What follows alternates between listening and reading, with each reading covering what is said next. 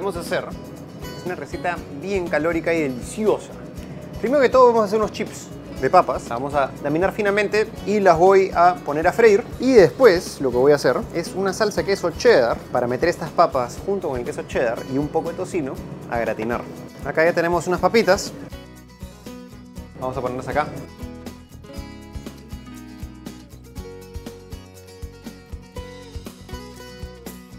En esta olla lo que voy a hacer es prenderla y vamos a poner un tercio de botella de cerveza roja. También puede ser una cerveza rubia. Aquí vamos a poner un diente de ajo, bueno, dos dientes de ajo chancados.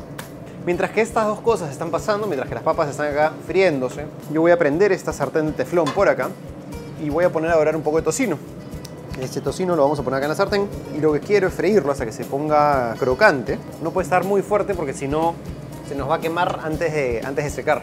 Una vez que ha roto la cerveza, vamos a agarrar el queso cheddar, lo vamos a poner aquí dentro de la olla. Vamos a bajar el fuego al mínimo, porque si no el fondo de la olla va a quedar quemarse. Podemos moverlo con una cucharita. Y si por ahí ustedes sienten que han hecho un mal cálculo, que les ha quedado corto el queso cheddar, lo que pueden hacer es ponerle una cucharadita de maicena diluida en agua y eso va a hacer que se junte el queso con la cerveza. Estas papitas ya están, vamos a ponerlas por acá. Siempre sacando las papas, poniendo un poco de sal, básico. Las papas blancas se van a un poco más que las papas amarillas porque tienen más, más líquido, pero cuando están bien fritas son súper crocantes, tienen un buen sabor también. Lo que es importantísimo en este proceso es no emocionarse con la temperatura del aceite para hacerlas más rápido porque el aceite se les va a terminar quemando y les va a dar un sabor feo a las papas. Lo que me está faltando acá es agarrar un poco de cebolla china que voy a cortar finamente y se la voy a poner dentro de la salsa de queso. Pero la cebolla china le va a dar una frescura a esta salsa de queso, va a romper con tanta grasa también, que es importante. Vamos a poner acá una buena pizca, o un buen pocotón, mejor dicho, de pimienta. Y esta salsa de queso entonces ya está lista.